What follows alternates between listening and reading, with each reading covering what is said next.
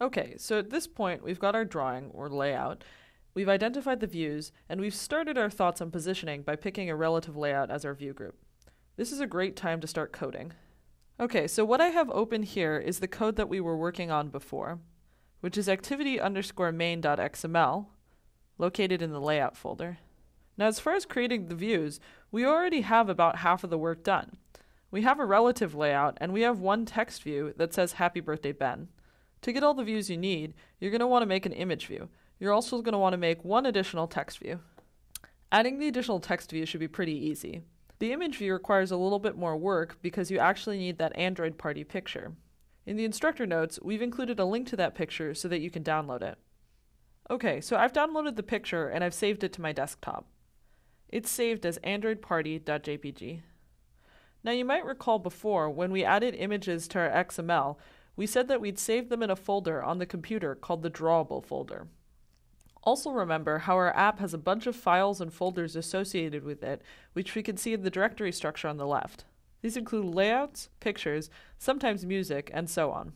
A lot of these types of files are going to be housed in the res directory, which is short for resources, the res directory contains subdirectories for all the image, text, layout, and other resources the app might need. And as we said, for images, there's this folder called Drawable. For this app, all images should be placed inside of the Drawable folder. Once you've put the image into the Drawable folder, you can use the source attribute of an image view and give it the value at drawable and then the name of the image. Note, when you're writing the image name, you do not need to add the file extension. Okay, so now I'm going to show you how to actually put a picture into the drawable folder. Okay, this image is in the instructor notes, so go ahead and download it to your desktop. Next, I want you to open Android Studio. In Android Studio, you can go over here and right-click the drawable folder. From there, you should see something that says Reveal in Finder or Reveal in Explorer. Here, I can see the drawable folder. So right now, I'm going to move the androidparty.jpg into the drawable folder, and I'm just going to do that by dragging it over. Okay, so make sure you're starting with the correct XML code, and if you don't have the correct code, you can go ahead and copy and paste it from the instructor notes.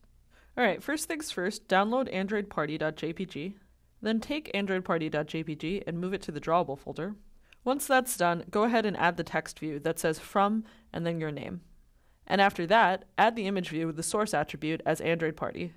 There's actually a lot of default padding in the code that you're working with, so you could go ahead and delete that.